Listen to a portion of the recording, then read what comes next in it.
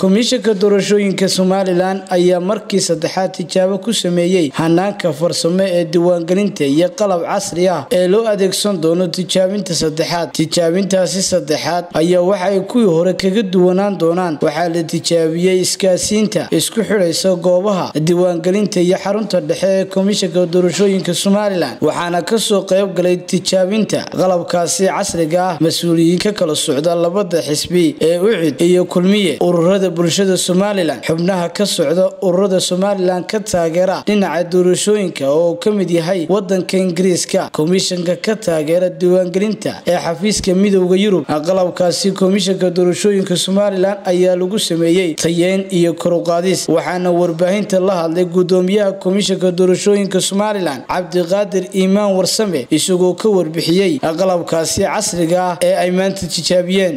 Tijaabadan saddexaad waxay maantaanu samaynay.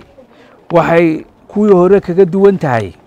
Kow waa goob ka baxsan xarunta komishanka doorashooyinka qaranka. Laba waa xogtii dadka la diiwaan geliyey. Wax toosa loogu diray xarunta dhexe ee real timeka oo uu toos ugu dhacayey oo online uu ahaa internetku. Toos baana ugu dhacayey ta saddexaad xogta dadkii hore isdiiwaan geliyey ee halkan fadhiya oo toos xogtoodii looga baadhayo seerfarka dhexe oo ay ku kaydsan yihiin dhammaan codbixiyayaashii diiwaangelintii aynu qabannay labadii kun iyo lix iyo tobankii. Afar maanta arrimaha ugu weyn ee aynu tijaabinaynaa waa sidii ay goobaha kala duwan ee daafaha waddanku ku yaallaa ay u wada shaqayn lahaayeen ama siday u shaqayn lahaayeen siday xoogta u soo diri lahaayeen iyo siday xoogta u baadhi lahaayeen. Waa saddex arrimood. Xoogtii inay baadhaan oo xoogihii hore ku jiray la baadho xoog cusub in la diiwaan geliyo xoogahaasna in la soo diro oo loo soo diro seerfarka dhexe.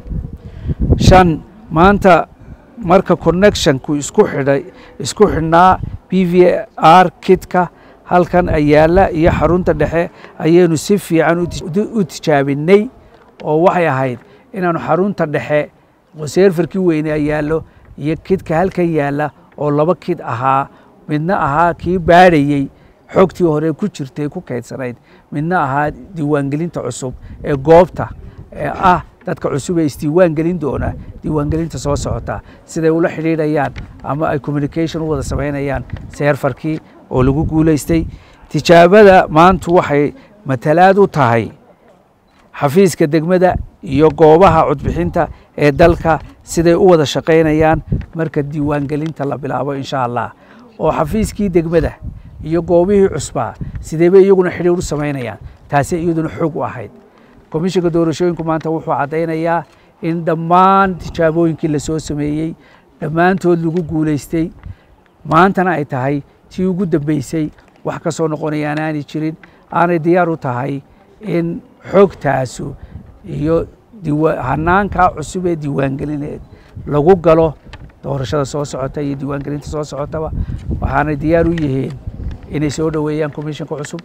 Waxay diyaar u yihiin inay hanofarkiina diyaariyaan oo naga diyaara waxaa iyaguna halkaasi geestooda ka hadlay saraakiil ka socda labada xisbi ee ucid iyo kulmiye. Waxaana hadalladoodii ka mid ahaa. Waxaa halkan ka muuqata inay shaqo ballaadhan qabteen komishanka doorashooyinka qaranku.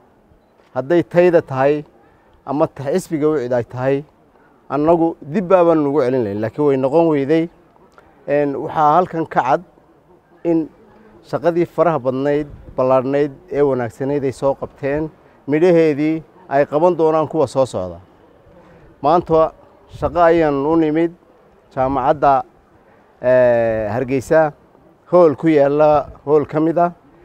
Shaqada aan u nimid waxay ahayd in ayna tusaan commishanku shaqooyinkii ugu dambeeyey ay qabtaan ay u diyaariyeen diiwaangelinta soo socotaa oo ay qaban doonaan ii sheegay commishanka soo socda. Laba goobood baa meesha ku yaallay goobi waxay ahayd degmada. Midna waxay ahayd goob diiwaangelineed degmada waxay ahayd macluumaad gaara khaladaadka wax ka bedel haddii ay dhibaata jirtay haddii waxyaabo khaasoo qofka la diiwaan geliyey u gaari ay jiraan macluumaad loo qabanayay ahayd. Midna waxay ahayd diiwaangelin caadi ah oo iyaduna socota. Weliba labaduba waxay toos ugu dhacayeen seerfarka ku yaalla xarunta oo online bay ahaayeen. Shaqadaasi waxay ahayd shaqo ballaadhan oo la qabtay. Waxaan ka xumahay in laba sannadood ay magaranaysaay aynu ku muranno sagaal xubnood iyo toddoba xubnood. Iyagoo komishankii markaa joogay ama imika jooga ay yihiin komishankii ugu wanaagsanaa ee soo maraabid. Sharaf weyn bay noo tahay runtii ka xisbi ahaan inaanu ka soo qayb galno yeedhmadana komishanka doorashooyinka qaranku nagu yeedhay tijaabada saddexaad ee ka dhacaysa jaamacadda hargeysa runtii waxaanu qiraynaa komishanka doorashooyinka somalilan inay qabteen shaqo wanaagsan oo qarankan dhaxal wanaagsan u ah inay qabteen diiwaangelin rasmiya oo codeeyaasheenna somalilan meel kastoy kala joogaan ay xogtooda dhammaystiran lahayo. Maantana tijaabo fiican ay u tahay qaranka somalilan iyo guud ahaan dadka inta faraha badan leh ku foogan inay codeeyaasha ka mid noqdaan. Waxaanu kaloo qiraynaa inay shaqada ay qabteen oo qaranka ugu ammaanan yihiin waajib qarano ay guteen ay tahay ka xisbi ahaanna aanu in badan ag taagnayn inaanu ku difaacno inay sii joogaan oo ay shaqeeyaan.